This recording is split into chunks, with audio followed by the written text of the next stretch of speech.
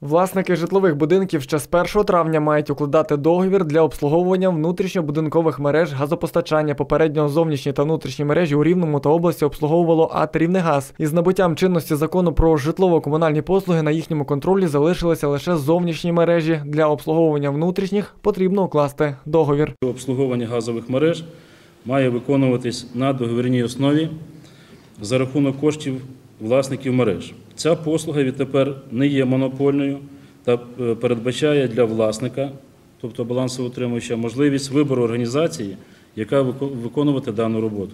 Згідно цього ж закону про житлово-комунальні послуги, із 2019 року відповідальність за стан газових мереж всередині будівель лежить на власниках будинків та управляючих компаніях. Перед укладанням договору із компанією, яка обслуговуватиме внутрішньобудинкові мережі, закон також зобов'язує підписати власників будинку акт розмежування балансової належності. З метою дотримання вимог нормативних документів, а саме пункту 5.1 розділу 3 Кодексу, в першу чергу балансоутримувачам житлових будинків необхідно укласти з АТ «Рівнегаз» акти розмежування балансової належності та експлуатаційної відповідальності сторін.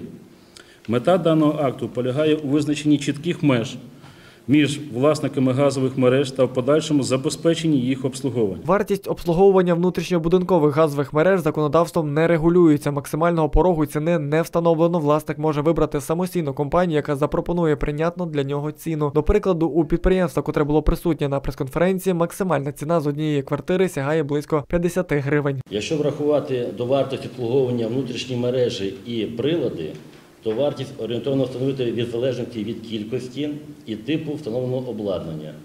Наприклад, якщо е, це е, плита газова одна ПГ-4, е, вартість орієнтовно буде складати 20 гривень в місяць.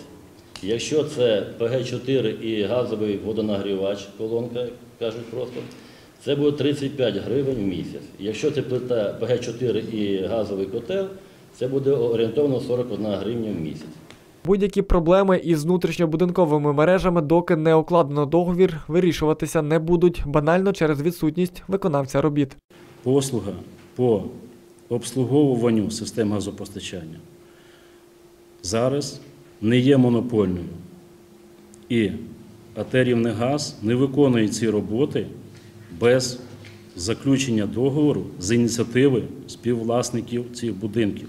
Також, згідно постанови Кабінету міністрів від 2016 року, у житлових будинках не здійснюється безкоштовне планове технічне обслуговування системи газопостачання та газового обладнання. На думку представника управління держпраці у Рівненській області Віталія Курчука, подібні норми потрібно повернути у законодавство. От незрозуміло, раніше було там технічне обслуговування газових плит раз в три роки. Да?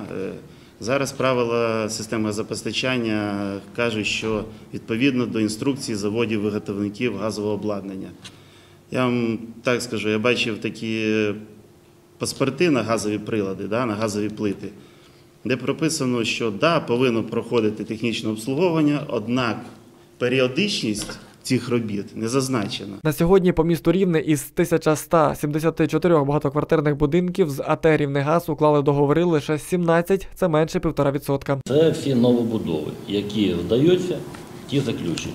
Всі остальні договорів і актів розмежування не заключені. Власників житлових будинків закликають підписати згідно чинного законодавства акти балансового розмежування та укласти договори на обслуговування внутрішньобудинкових газових мереж із ліцензованими організаціями. Вадим Мороз, Михайло Кушнарчук у ритмі подій.